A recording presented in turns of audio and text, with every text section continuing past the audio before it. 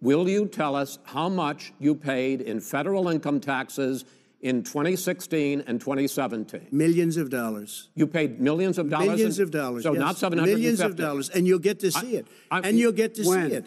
But let And me just tell you, Chris, let me just tell you something that it was the tax laws. I don't want to pay tax. Be- Before I came here, I was a private developer. I was a private business people. Like every other private person, unless they're stupid, they go through the laws, and that's what it is. He passed a tax bill that gave us all these privileges for depreciation and for uh, tax credits. We build a building and we get tax credits, like the hotel on Pennsylvania Avenue. You get Okay. a massive, which, by the way, was given to me by the Obama administration, if you can believe that. Now, the man got fired wait, no, no, right let- after that happened. But Vice that's a- President Biden, you want to respond? Yeah, I do want to respond.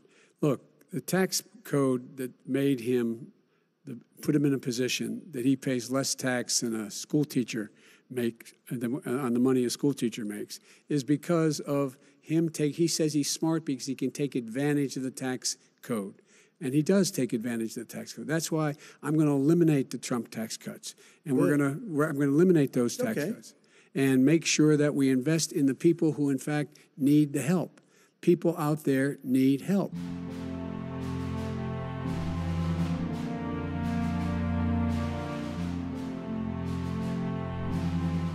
But why didn't you do it over Uh, 20, no, the no, last no, wait, 25 no, years? let's- Because you weren't why didn't you president. do it over because you weren't president? Screwing things up.